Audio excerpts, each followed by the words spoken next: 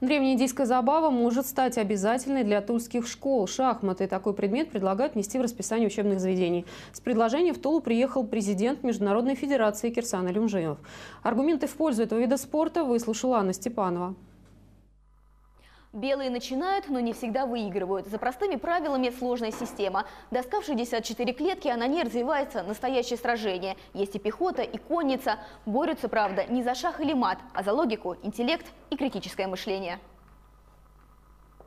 Игра для гениев или игра, которая может сделать гением. В московской школе пять лет назад провели исследование. 32 недели ученики одного класса каждый день играли в шахматы, остальные – нет. Итог. За это время у юных шахматистов увеличился уровень IQ, креативности и навыков решения проблем. Сделать эту игру обязательным школьным предметом. С таким предложением в Тулу приехал президент Международной шахматной федерации Кирсан Улюмжинов. Он встретился с преподавателями школьных кружков, представил новые учебники по шахматам и начал убеждать.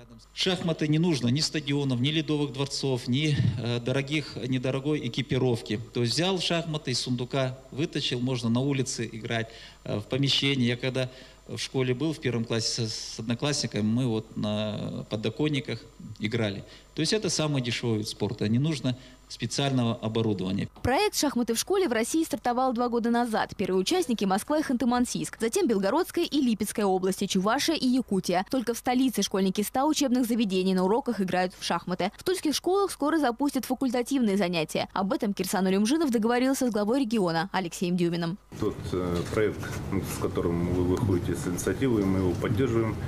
Э, на сегодняшний день порядка 24 э, учреждения да, образовательных готовы участвовать в пилотном проекте. Среди предложений ввести шахматные уроки вместо третьего часа физкультуры. Но сначала этот вопрос будут обсуждать с родителями. Один из аргументов преподавателей – статистика. Шахматы в десятке самых популярных видов спорта в России. Больше 500 тульских школьников занимаются ими профессионально. Они – победители мировых и европейских первенств. Анна Степанова, Вадим Роженков, Первый Тульский.